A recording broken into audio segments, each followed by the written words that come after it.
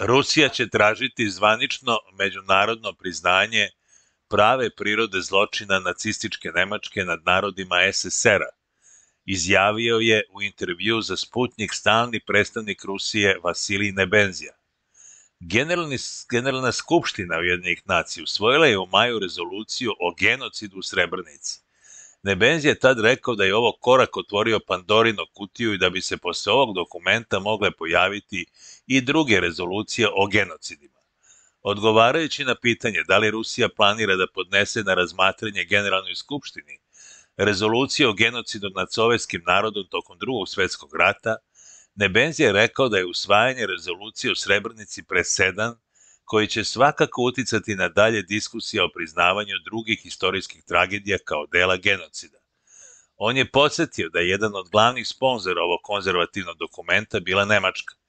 Kako je istakao Nebenzija, Ruska federacija je uvek pridavala veliki značaj očuvanju istorijskog sećanja i uspostavljanju pravde za one koji su stradali i poginuli u drugom svetskom ratu.